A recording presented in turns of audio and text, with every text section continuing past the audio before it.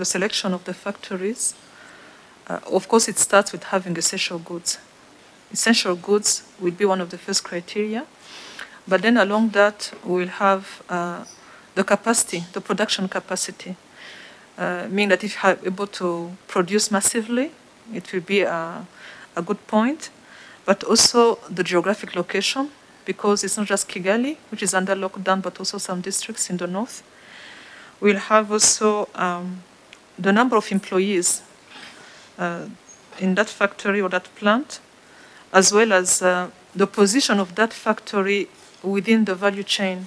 Like if it's a factory for dairy products, it means that livestock is still on. We need the dairy products also to be processed. So it's a position the value chain you, you have to keep working, as well as the capacity of the factory to deliver to the market. There are some plants which are able to deliver to the market, to take their goods to the market, so it's also be something important. And lastly, uh, the perishability of the products.